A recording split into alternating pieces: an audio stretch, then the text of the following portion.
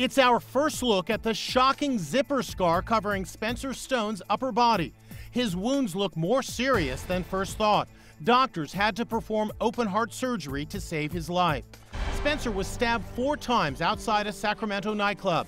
The attack came seven weeks after Spencer, Dancing with the Stars contestant Alek Skarlatos, and another friend took down a terrorist on a train in France. Police also just released sketches of the suspects wanted in the Sacramento stabbing. Spencer is thanking his medical team and issued this message Thanks also to my amazing family and friends for their love and support.